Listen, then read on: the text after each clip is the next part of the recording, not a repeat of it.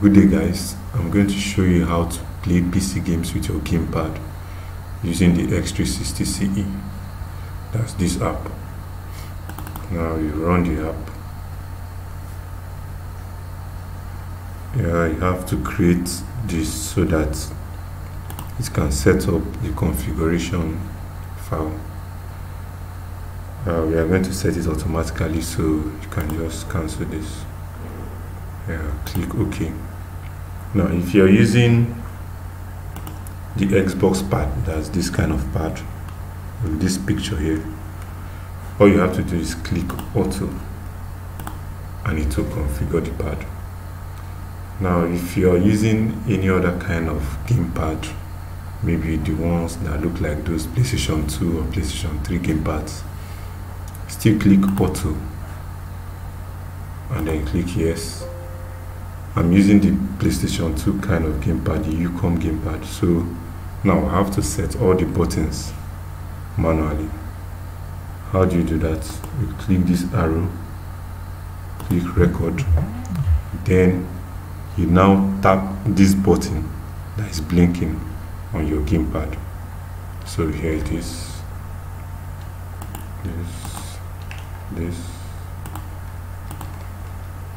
click this record.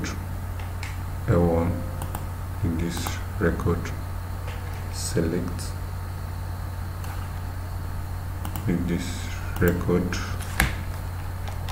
R2 in this record R1 in this record.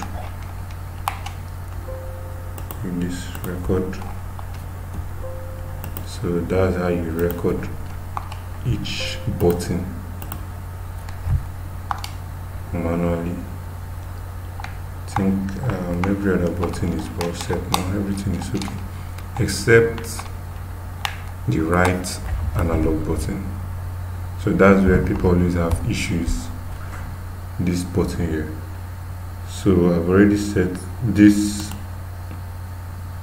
change it to axis 6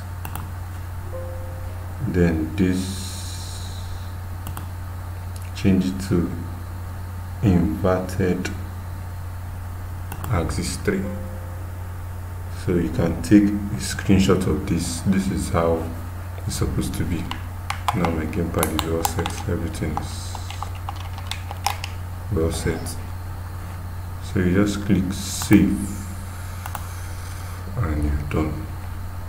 You can now play with your gamepad. You can now play your best your FIFA Call of Duty or any other game